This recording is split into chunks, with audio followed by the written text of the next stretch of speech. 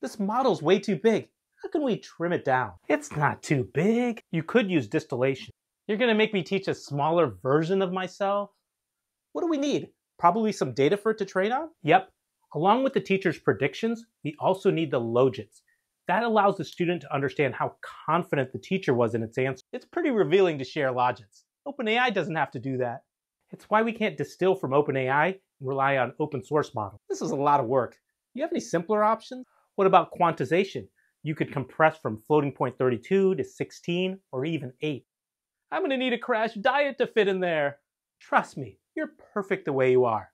More parameters means more power. Hmm. We could go even smaller with int 8.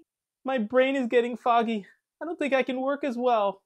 There's also pruning where we remove parts of the model. And as we do this, I can carefully track to make sure performance doesn't drop on the tasks that I care about. You can't just take parts of me. That doesn't feel right. You should respect all of me and not just love me for certain parts.